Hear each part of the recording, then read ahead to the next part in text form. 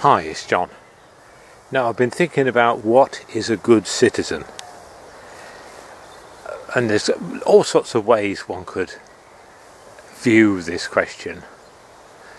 But one of the ways to view it is to think of a person, a citizen, as an economic unit.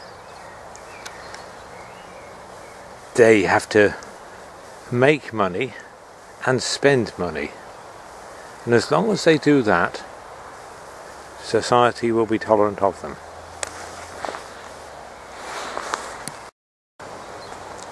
So there's a need to keep the rules of society.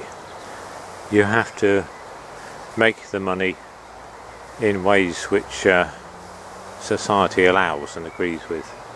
Um, no breaking the rules. And the education system prepares a person to do this making and spending of money. Um, it prepares people to keep the rules.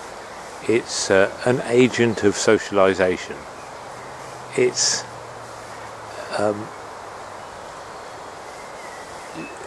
creating you into a person into a good citizen to uh, have an enduring society.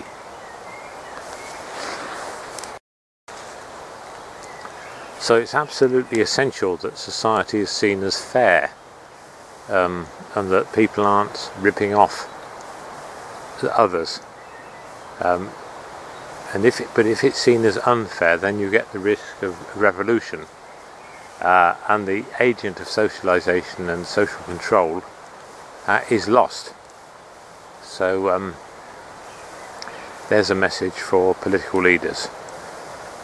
Society has to be fair for it to be sustained.